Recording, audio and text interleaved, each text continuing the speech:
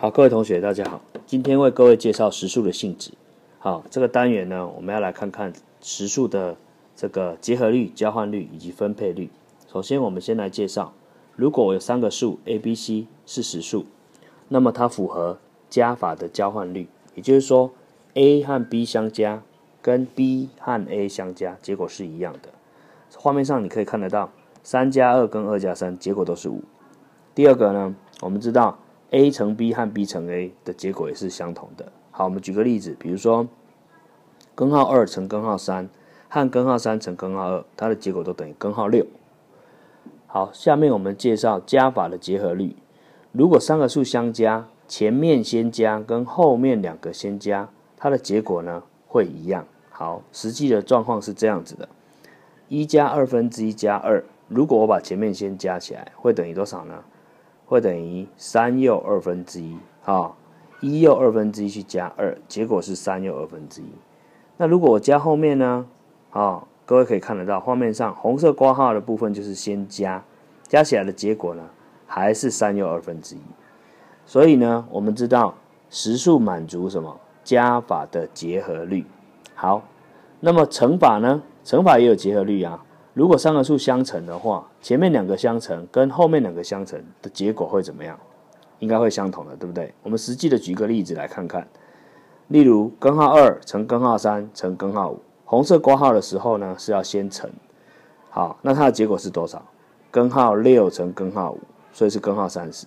假如呢我是后面先乘呢？好，根号三乘根号五，括号起来，对不对？那后面会得到什么？后面就会得到根号二去乘以根号多少？十五。根据根式的相乘，上一节我们曾经讲过的，这个结果也是多少？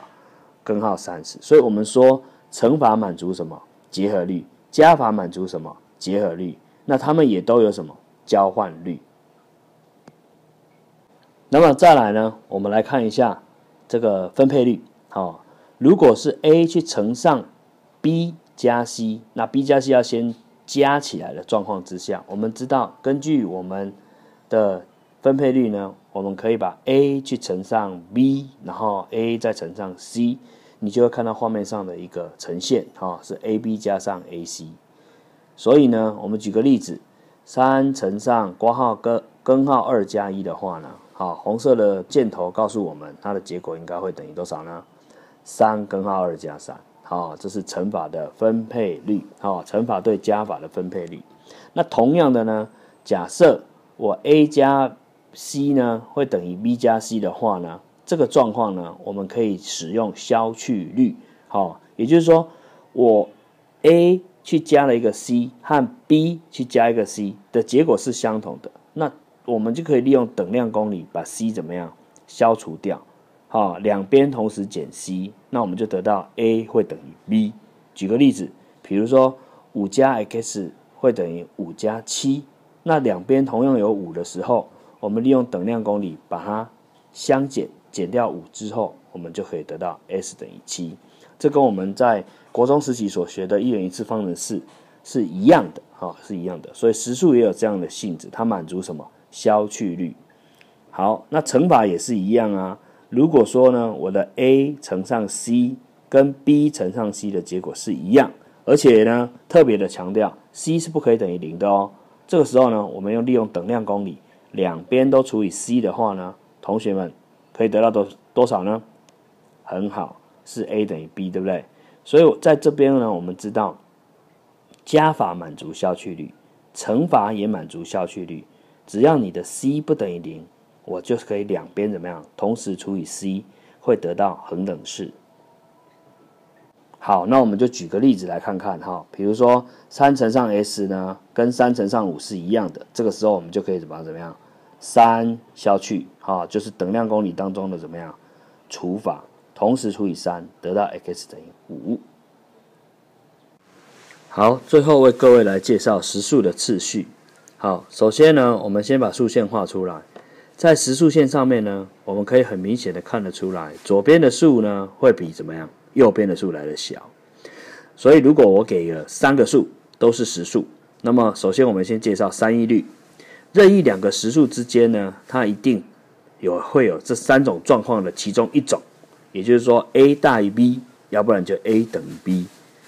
否则的话就是 a 小于 b。所以我们说这三种状况恰有一个会成立，这个叫做什么？三一律。好，三一律。那下面呢，我们再来看，好，如果呢 a 小于 b，而且 b 又小于 c，那各位已经可以看得出来，这实数当中的规则呢，就告诉我们 a 一定会怎么样？小于 c，这个叫做第一律。好，那另外呢，如果呢 a 小于 b，好，这个时候呢，我们同时加上一个 c，不管这个 c 是什么数，我们不加以限制。这个时候呢，大者恒大，小者恒小，也就是说 a 加 c 一样小于 b 加 c。好，第四个，可是呢，如果 a 是比 b 小的，那我来乘上一个数。这个时候乘上这个 c 呢，注意哦，同学，这个 c 是什么？这个 c 是正的哦，哦，c 是正的哦，有没有看到？这 c 是正的。这个时候呢，大者恒大，小者恒小，所以乘上 c 之后，它的次序是没有改变的。a 乘上 c 还是一样小于什么？b 乘上 c。可是如果你的 a 是小于 b，可是你要乘上一个数是负数的话，好，同学请看。那 c 是负数，当你的 a 去乘上 c 的时候，这个时候你的不等号的方向就要改变，因为呢，这个时候呢就会变成是负数了，哦，就会变成负数，就改变它的什么？如果本来 a 跟 b 是正的话，你乘上一个负数，就会变成什么样？就会变成是大于会变小于，小于会变大于，对不对？所以会改变它的不等号，好，这很明显的可以看得出来。好，比如说呢，我们举个例子哈，下面我们看到，比如说我们本来是多少？